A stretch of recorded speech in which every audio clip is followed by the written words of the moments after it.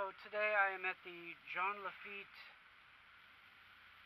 National Historic Park. Uh, uh, there's the the Cal Chalmette uh, battlefield is here. Uh, so I'm going to kind of walk around a little bit and take a look, and I invite you along.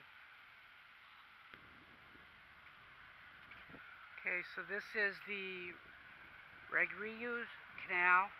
Uh, a lot of it was dug out uh, to be used uh, for the rampart uh, that was used uh, for defensive purposes during the battle. So we're going to just walk back up towards the rampart. Um, there is this uh, really nice house back here. I talked to a ranger. Uh, that house was not here during the battle. Um, it was actually built after that. Um, and it was here before the idea of national parks even came along. Um, so the National Park Service did buy that. Uh, it sits empty right now, um, and it sounds like it needs a lot of uh, TLC to be usable again.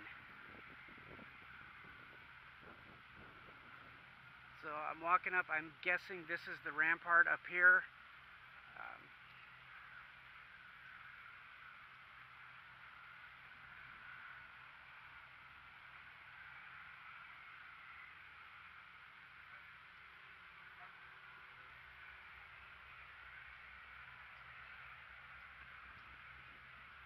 Know, I'm guessing maybe that isn't the rampart up ahead, because I do see a ship moving back there, it looks like. So I'm guessing there's water. We'll know uh, when we get up there.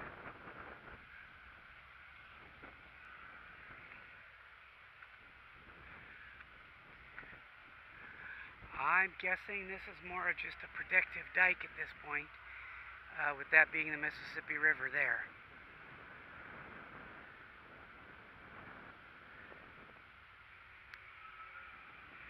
There's a walkway over there and a little dock that goes out, so let's take a look.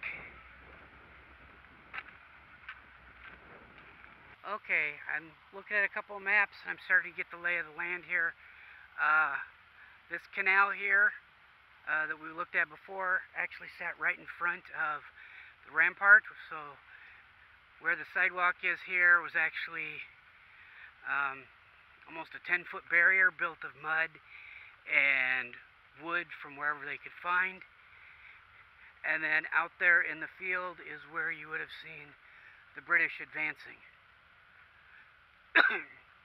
and then back on the other side, the, the, west side of the Mississippi, there would have been artillery uh, as well. Okay. So this is a, a walking, uh, driving loop uh, tour loop. So we're going to do that. We're going to walk around there and kind of take a look at all the little plaques. And then uh, we will go over to uh, the Battlefield Cemetery and probably just drive through there a little bit. Okay? So the uh, rampart would have gone all the way down uh, through here, and we are going to go on the uh, self-guided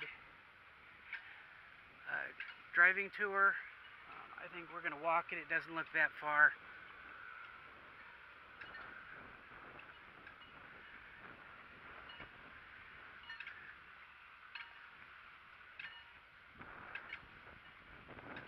So yeah, you can see a little bit of the rampart that's remaining.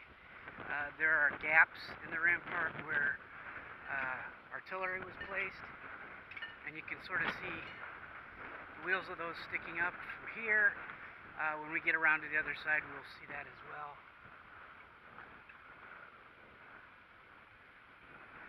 And all this would have just been battlefield. Um, said 2,000 British soldiers died or were injured, and only 20 Americans. So it was a huge rout and also kind of a, a, rallying point, I guess, for the country that was pretty divided at that time.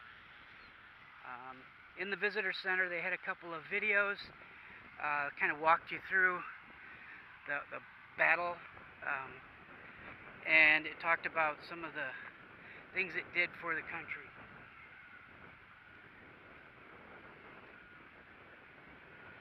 So, okay, we're coming up on the first little marker here. Um, the thing that's striking me as I walk through here is this land is so low and there's so much standing water. Um, and being right next to the Mississippi before that dike, this had to just be a horrible, horrible place to try to march through in any organized manner. That would just make the, the battle even more difficult for the British. Okay, so this is the 93rd uh, oblique.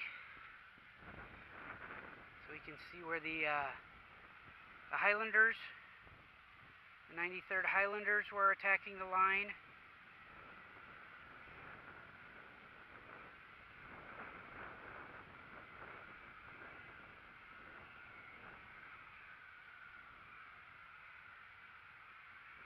That would have been this area right through here.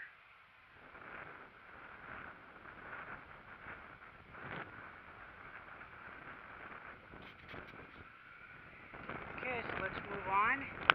Okay, just down uh, from the last marker is, is the next one here. Frosdenville. Jump. So uh, this is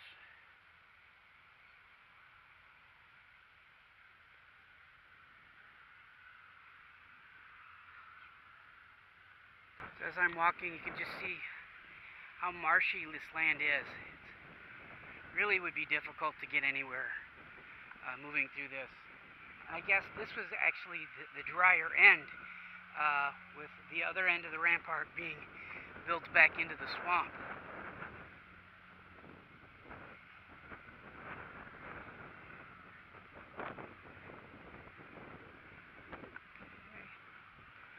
So we'll just keep walking here.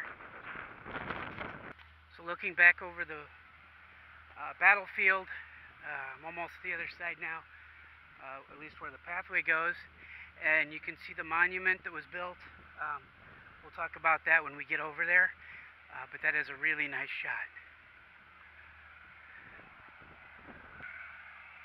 Okay, I just noticed uh, to my right over there on the other side of that fence, it looks like that is the battle cemetery, or the battlefield cemetery. Uh, we're going to go to that in a little bit. Um, I couldn't walk over there if I wanted to. There is standing water all along there. Um, so you'll just have to wait till we get over there. Uh, but we are coming up on our next placard. Uh, so let's see what we got here.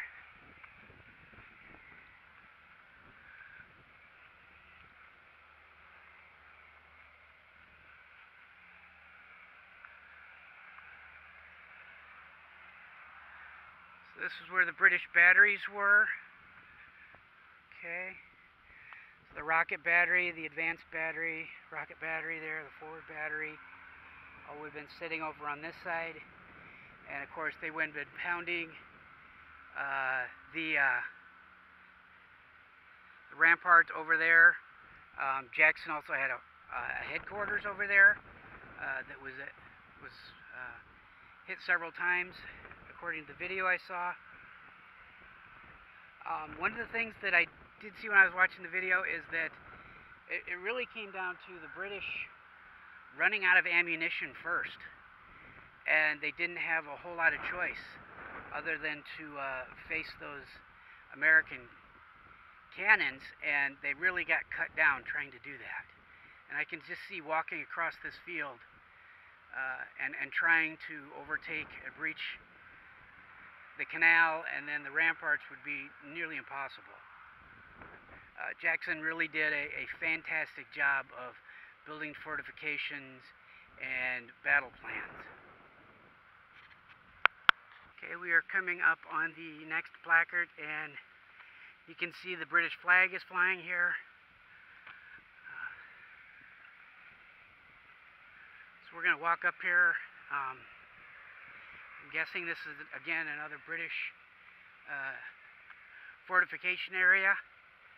Um, if we look off to my right towards the cemetery, uh, there's a gap in the wall, and, and you can see in a little bit. Uh, I was looking at some of these massive trees, and I wonder how old they are and, and were they here. But there's there's a sneak peek at the cemetery, and we'll get to that in a little bit.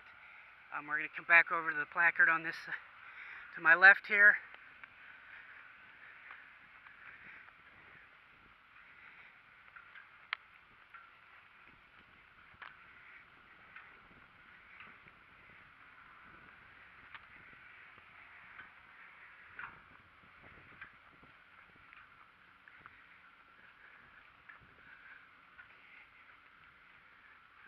Roads and ditches.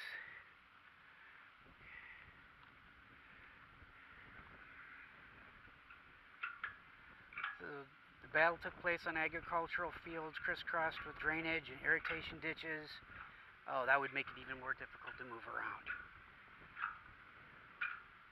The heaviest part was near the cypress swamp. Uh, a double ditch was there.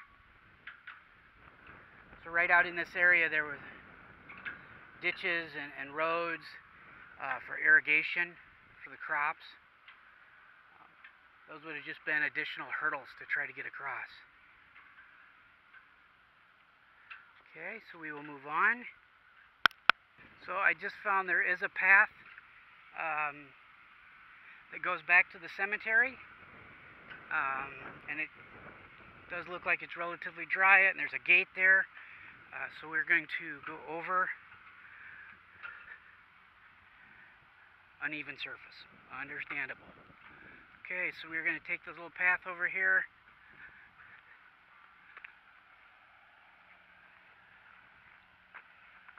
We got a couple placards here before we go into the cemetery.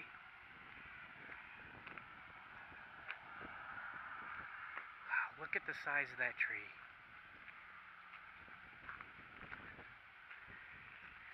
Freedmen's Cemetery the remains of ex-slaves, established by the Freedmen's Bureau in 1867.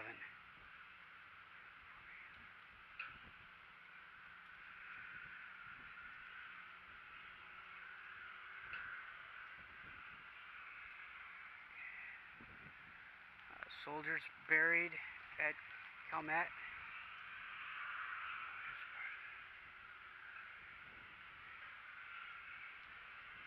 So the original entrance was down by uh, the river. Um,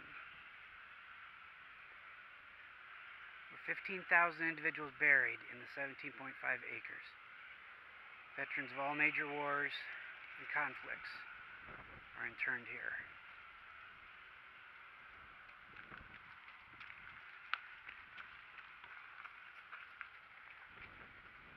Chalmette National Cemetery was established in 1864 as a burial place for Union soldiers who died in the Gulf area during the Civil War.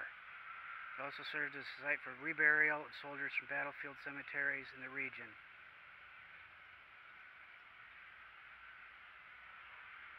This was all part of the uh, battlefield during the Battle of New Orleans. There are only four veterans of the War of 1812 buried here.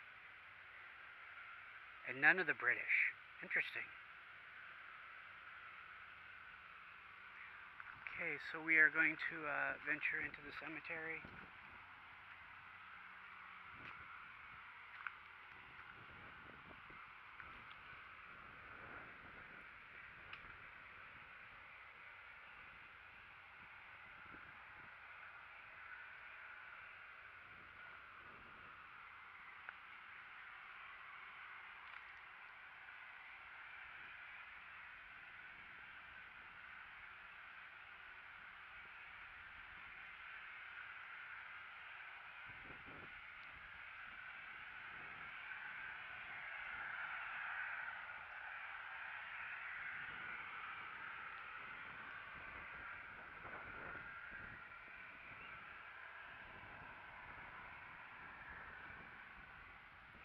You can tell um, by the type of monument um, what war they served in. I'm uh, going to be relatively quiet uh, during this part of the video. For me, cemeteries are a very solemn place, and I don't want to be disrespectful to those people that were interned here or th- any of their family.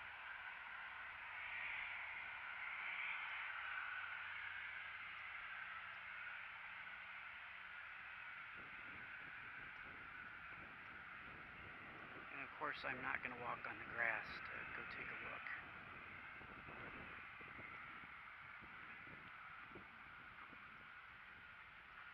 It is noticeable, though, how worn some of the stones are.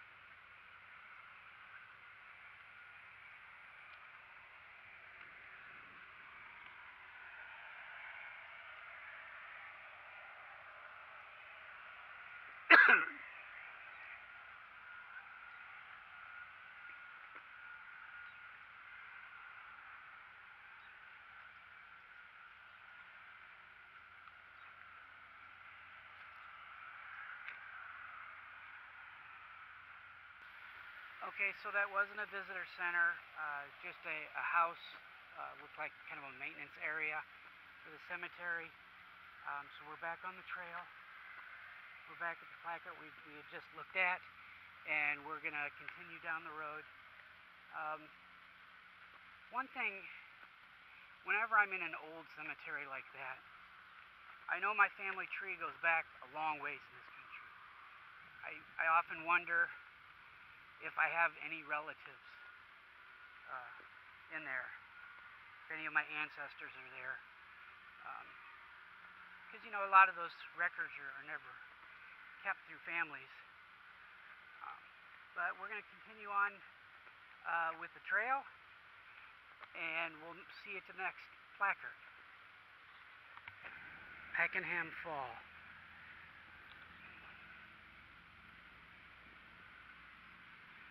Pakenham was uh, one of the commanders, um, I think the commander. Uh, I believe he had just come here after uh, the Napoleonic Wars, so he was very battle tested. Um, and uh,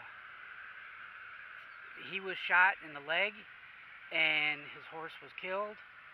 And when he was trying to mount uh, someone else's horse, uh, he was shot and killed.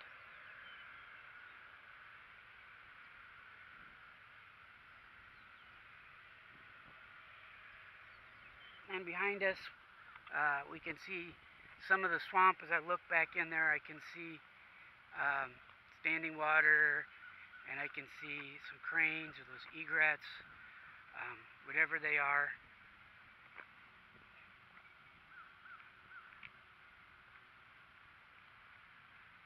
See one back in there. See the white, I guess.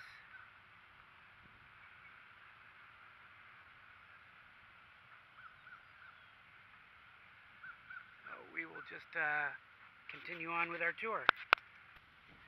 You know, as I'm passing over this water, I can see it goes all the way back into the swamp, comes through, comes across, and if you look at the, the land, it, this might have been where one of those ditches was, the irrigation ditches.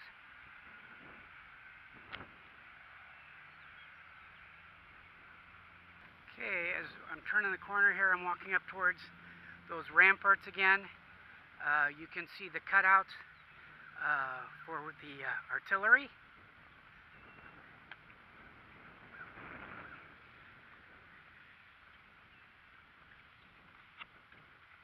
And all the way back over there is the monument and the visitor center where I started. And the rampart goes all the way down through here. And they cut it off here where the path is. But I have a feeling it went back into the swamp, um, according to the videos I saw inside. And I guess this is the side they, uh, the British attacked because they thought this would be the weakest side uh, by the swamp. Um, but they were wrong. Plain and simple, they were wrong.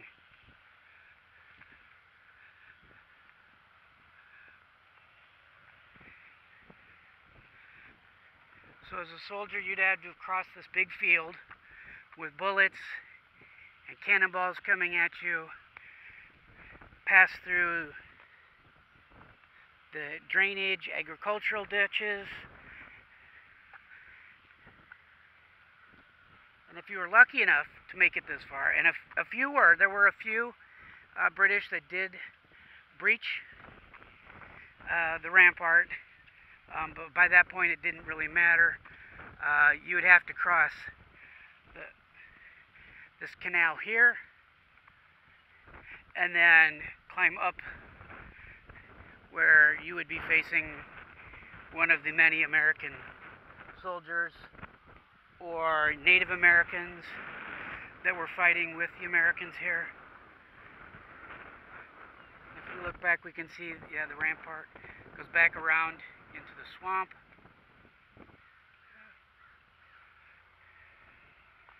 And we're going to continue this around. I see another placard coming up. Battery 7 and 8.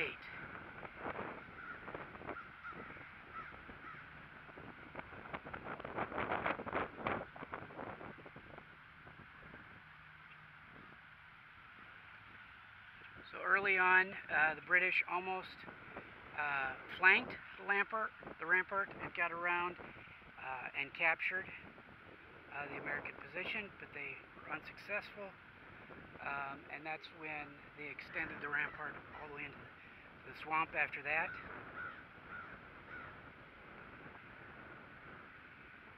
So it was Lieutenant uh, Samuel Spotts the Artillery Corps gave the order at Battery 7 to fire the first battle shots.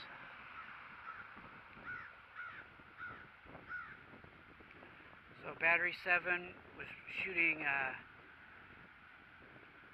6 and 18 pound cannonballs, and 8 had uh, a 9.5 inch howitzer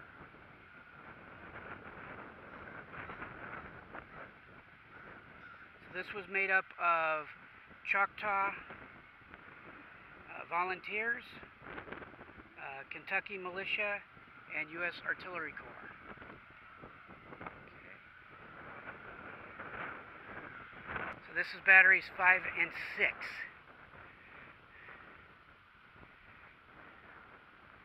Inflicted many of the British casualties, uh, which makes sense, they're right here towards the heavy end of the battle. Led by Tennessean Major General William Carroll, who succeeded Andrew Jackson as head of the Tennessee militia.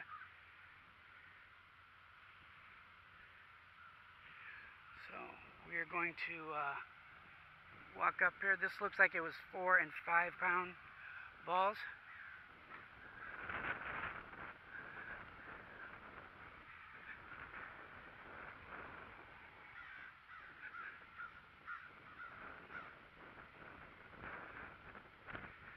that one. We're going to walk over here and take a look at this one. This one's clearly smaller. It must have been the four or five pound balls.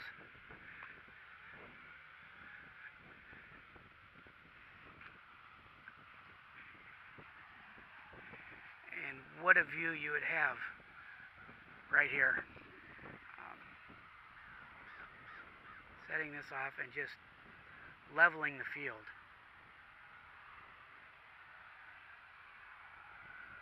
Okay, we are coming up on the memorial and the last placard. At least I think it's the last placard. Um, we'll take a look once we get up there, but I'm pretty sure the visitor center is is the next spot after this one. So, although there are placards all the way around the memorial.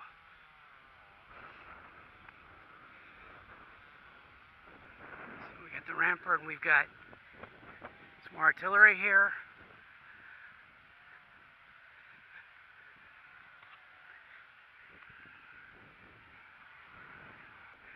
Okay, so this was battery four. So this is with the second free uh, colored battalion, the first free colored battalion, uh, USS Carolina sailors. Um, that explains the uh, 32 pound uh, naval cannon. Because if we scroll over here, we can can see that.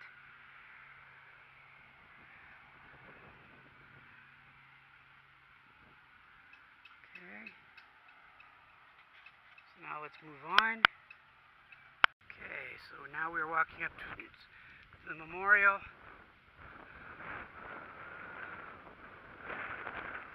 And I believe this commemorates uh, all of the different groups that uh, fought on the American side of this battle.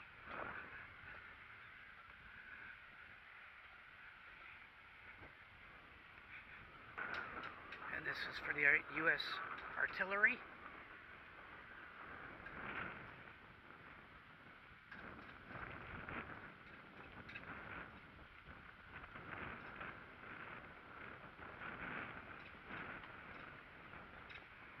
And then we have the Mississippi militia.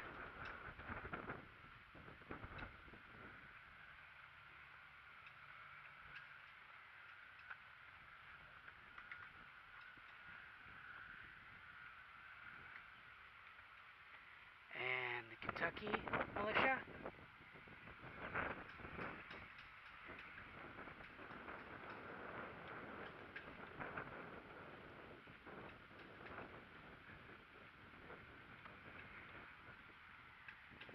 and the Tennessee militia.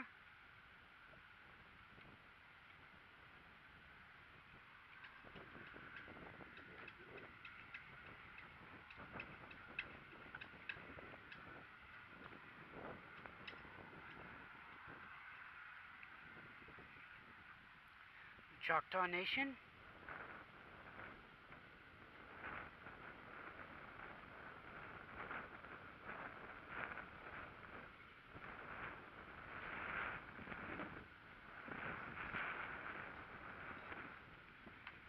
And we do placard here that talks about the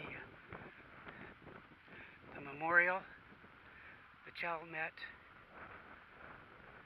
Monument, constructed uh, constructed to honor Andrew Jackson and his troops.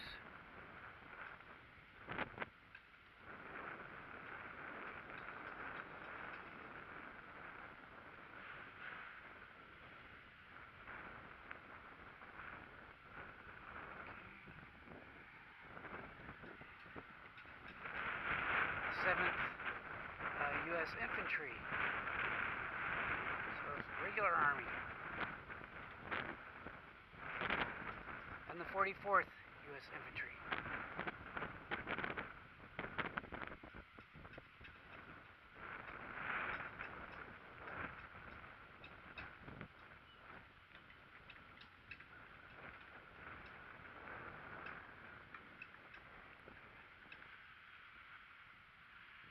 U.S. Marines.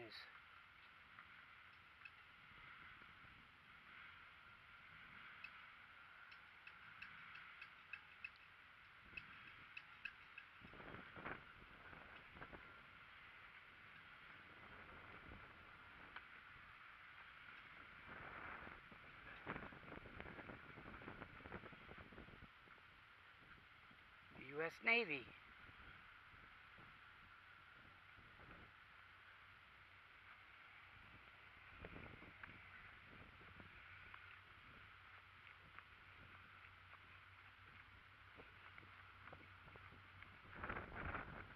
Louisiana militia.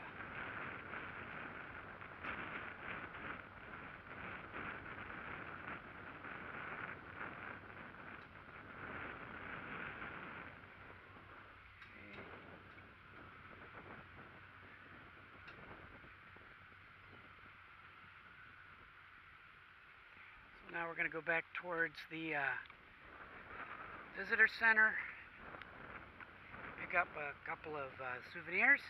I also have a couple of questions for the rangers if they can answer them for me. Um,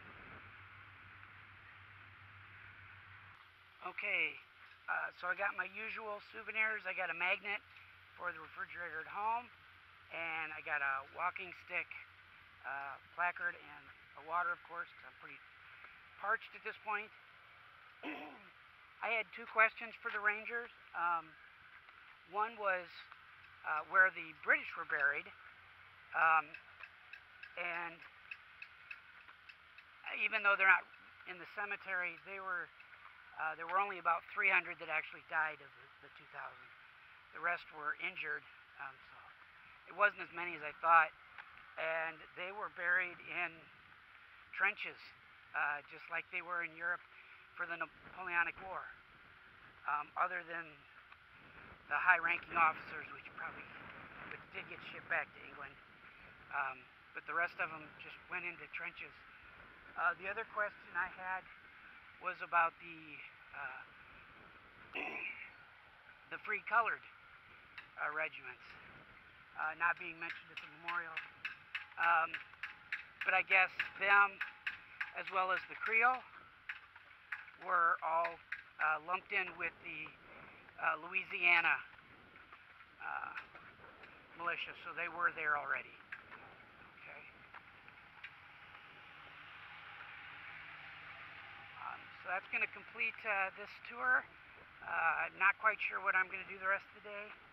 I'm going to go probably grab some lunch and cool off. Maybe I'll work on editing this video and trying to get this up.